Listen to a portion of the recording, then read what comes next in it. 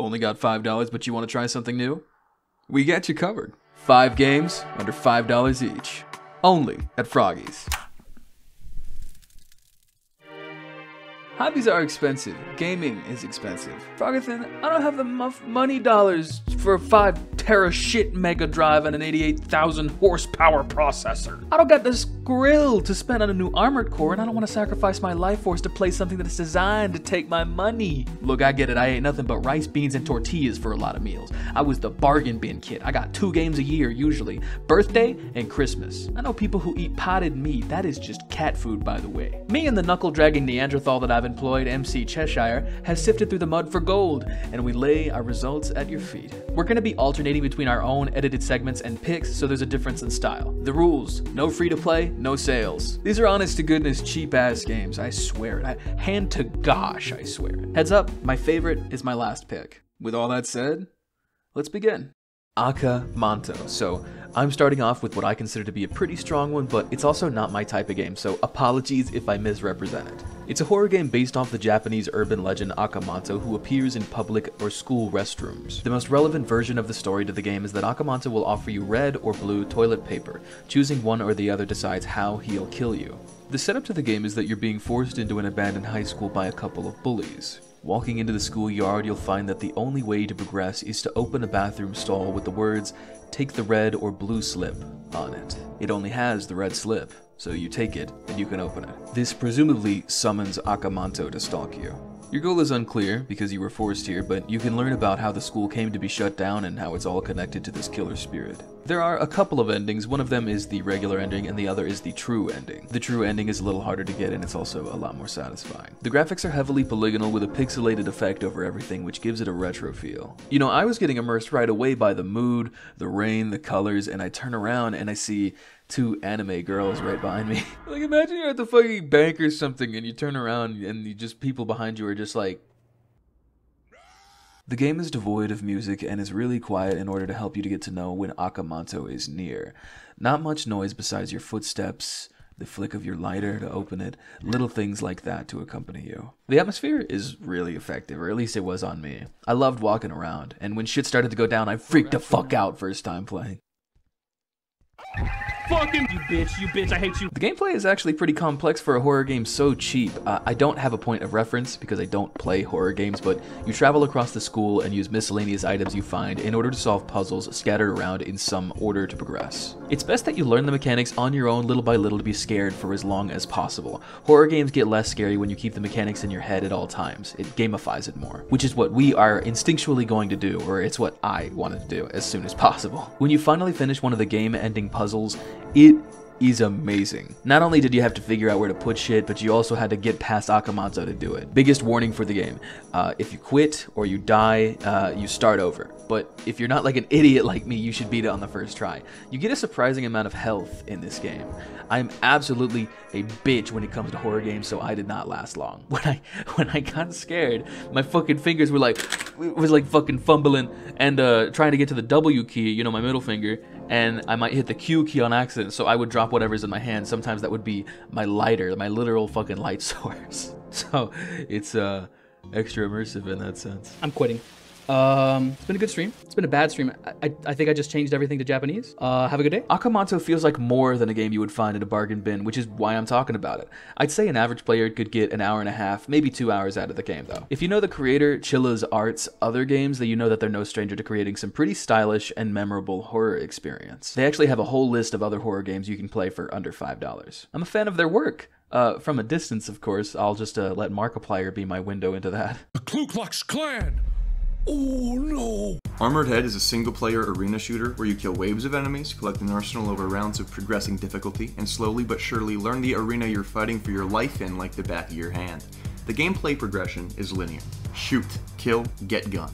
Shoot more, kill more, get more gun. New enemies arrive, you have to manage your ammo, kill combos, get you more resources, but the real progression is knowledge based. Once you figure out you can spend resources, herd the enemy, use tricks to traverse the map more efficiently to points of interest, learn each enemy's weakest point and the weapon most effective against them. The gameplay is rather static, but you're not. You can always get better. You have a few abilities, most are about movement, and one that slows down time, but the main mechanic is hot switching between weapons like any other boomer shooter that's come out in the last couple years. There's bosses, secrets, achievements, and it's all very tight. No fluff, just the juicy heart of a game, and nothing else. They don't really explain anything or how anything works, What, I don't know what's happening when the cow eats my points. which could be very annoying to you, or it could be very satisfying once you figure things out. Oh, there's weak points that do exponential damage. Interesting. Oh, oh fuck, that's the cow. If you're the type to obsessively improve and conquer a game, basking in the satisfaction of victory and perfection, this game's for you. Why did the cow try to kiss me, dude? Also, there's a cow. Yomi Hustle. Short for your only move is hustle. Do you remember those six stick figure fights on YouTube that played like three days grace or some shit? Hype as shit imaginable. Looking back at it, it was an efficient way to communicate some over the top choreography in your head without some stupid budget required to make a high quality anime experience. Yomi Hustle makes those fights the core of their game. But Frog, I'm no good at fighting games. I don't know how to play these things, doy. You are stupid. You are so stupid. I suck at fighting games too, but uh, I can teach you one term. Yomi. It's the Japanese term for reading, as in reading your opponent in this context. Which is all this game is, because it's turn based. Well, not really. You both choose your moves and you perform them at the same time, or your character performs them, you know what I mean. After choosing a move, before you lock it in, you can see a projection of where your next move will take you, but obviously not your opponent's next move. You can, however, select a hypothetical move for them to use so you can watch how it interacts with you. Pretty much everything in this game is happening in the player's heads, and when you get really good at this game, it's kind of like rock, paper, scissors. Will he move that way? Then I'll do this. Will he move that way? Then I'll do this. If you're bad at the game like me, you're just gonna pick whatever looks cool. This game is a fighting game, but it's slowed down moment to moment. The way the game is set up can actually teach you a little bit about the mentality of fighting games. It even teaches you the insane importance of frame advantage. This game was oddly helpful to me in understanding fighting games. It was weird. It's got a love and reverence for other games while also functioning as something entirely different, using its turn based nature for wild movement options and pinpoint accurate moves, and at the end of it all, you rewind it for an amazing fight scene that you and your opponent choreographed the entire time you were playing. Even if you lost, you got sour, you want to go next, you gotta watch it. You need to watch it. It's tradition. At five bucks, you can get a few good evenings out of it with your friends, and it's a crazy ass game that offers something genuinely unique. Hard to get more for your dollar than that. Super Kiwi 64 is exactly what it sounds like a love letter to the earliest generation of 3D platformers. Mario 64, Banjo Kazooie, Spyro, it's a fun little genre, and it's hard to deny the simple charm and enjoyment of moving around and getting little doodads until you got an A plus on the level. We've seen attempts at rejuvenating the genre in recent years with successes like A Hat in Time and embarrassments like Yooka-Laylee, but I think Super Kiwi 64 is something really unique in the genre. It's really short. Usually that's a negative, but with collectathons, I get fatigued after going through a few of the massive worlds with a million rabbit trails to follow. There's a great amount of fun in exploring a huge world where there's always something new to find around every corner, but sitting down and burning through a whole game in an hour, getting to experience all of the stage variety without any of the burnout, that's really fun too. And Kiwi is the only place I've seen this genre done well in a bite-sized portion has all the fun little bells and whistles I wanted, levels of different themes, fluid and engaging movement, a couple new mechanics after progression, and great vibes. The music isn't rivaling Koji Kondo, but it evokes him, and it's nice. I beat it in an hour, and I really enjoyed the experience. It's like free samples at an ice cream shop. Even if you don't think you can stomach three scoops of triple chocolate ice cream fudge sundae, one spoonful is always delicious. Before my final pick, I wanted to take a second to shout out some other games that could have fit in this video, but I didn't want to buy all of them and play all of them. Uh, I played a couple of them though. That's right, you stupid, dumb, dumb, fucking idiot. It's I clickbaited you, stupid. It's not actually five games. It's like 20 something. Let's go! Vampire Survivors. A lottery machine designer made a roguelike, and it's just as addicting as it sounds. Insanely popular. Kind of inspired its own genre too. Halls of Torment. Seems like a Vampire Survivor sort of thing, but it's got an awesome classic Diablo sort of paint. Looks hard. It comes in waves. It's more of an art piece than a game, honestly. Don't buy it if you're looking for gameplay. It's more of a 20 minute window into a story. Friday the 13th, the game. Lots of fun to be had here with the lads, like Dead by Daylight but more goofy, less competitive. Uh, it's gonna shut down late next year, so play it while you can for 5 bucks. Binding of Isaac. It is one of the most beloved indies and roguelikes in general. It is the lesser version, but at $5 it is totally worth it if you've never tried it. I never got into it, but I can see how people get addicted to this stuff. The Room. I've never played it, but I always see this pop up on Steam. It looks cool as hell. A game I'd play with my mom or my sister. Seems like a puzzle game for puzzle enthusiasts. Doom. It's Doom. It, it's good, dude. Come on, you know this. The Frog Detective games. They're a quick and simple puzzle games great for young children that know how to read. I played this with my kid sister. Like a great kids cartoon, it's got a couple chuckles out of me too. Simuland is a card game that has you influence rising civilizations playing as God. I played this, not my thing, but seems pretty cool. Super Hexagon, dog. I used to fuck on some Super Hexagon in my graphic design class in high school after I got done with the assignments. Arcade type game. What you see is what you get. Pretty fun. Downwell is a sick game where you go down to progress, shoot enemies with your gun boots, avoid enemies, and alter your runs with items. Seems really well made. Stick Fight the game. Chaotic game. I guess you could call it a platform fighter? A platform shooter?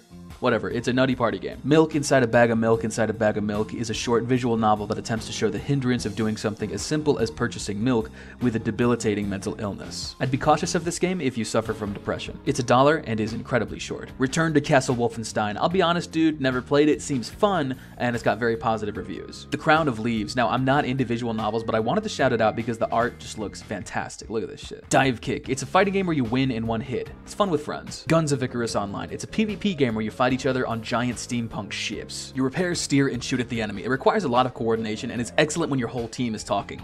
I had a lot of fun with this back in the day, but it's a dead game. You need a couple teams of friends to make it fun, which could be a really tough sell. Devolver Bootlegs. It's a collection of simplified demakes featuring Devolver digital published games. Looks really fun and stylish. Finally, this one almost made it into the actual video, but it was $6, so it was not included. It is Pseudoregalia. Faithful polygonal art style to the N64 with a slowed frame rate on the characters to add that extra old school feeling. All I've seen from the game is the movement mechanics, which is all I need. It looks really fun. I'm gonna be playing it after all this stuff that I've been getting into. Seizure warning before my top pick, alright? Are you ready?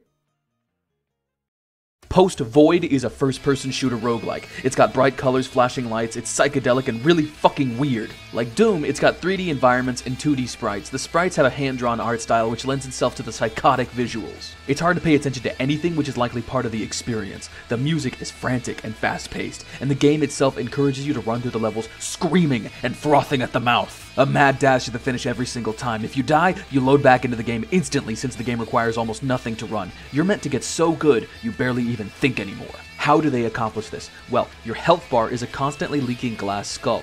Killing enemies refills the skull for it to only continue leaking. It has roguelike elements, but it feels way less dependent on that than most roguelikes, I would argue. Success in this game is dictated by how well you can click heads while zooming through a level. It is adrenaline pumping. I think a lot of modern shooters are afraid to get this wildly fast pace for fear of alienating an audience. And I'm sure nobody wants an art style that can literally hurt a percentage of the population that just looks at it. It looks fucking awesome, by the way. I'm not a professional artist, but I do draw from time to time. I think most people who have familiarity with creating anything really appreciate art styles that push what is acceptable. This game accomplishes that, and so does Hylics. I talk about Hylics in my friend's video. The link to that is in the description. You should be able to beat it start to finish in 10 minutes, but it'll take a regular person several tries. I'm gonna beat it after this, and despite that, I'm sure I'll come back again and play. The game feels amazing. If your eyes didn't hurt looking at this, then give it a try. Penny wasn't lying. This is the best $3 game on Steam. Hope you enjoyed. If you like this video, check the description. There's an extension to it uh, on my friend's channel. Uh, okay, but video's over. Bye.